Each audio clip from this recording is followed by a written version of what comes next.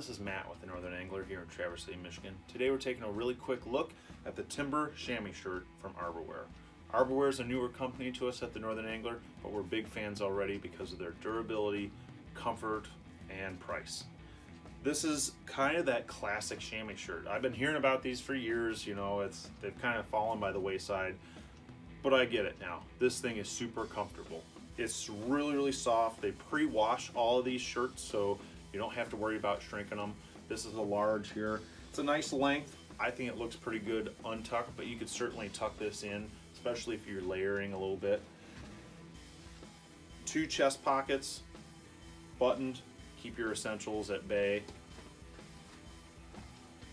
This is the classic chicory color, and it's kind of this uh, tan, really, really sharp looking, I think. It goes well with maybe a vest too. Retails at $59.95. It's available medium through extra large here at the shop or at thenorthernangler.com. Check it out.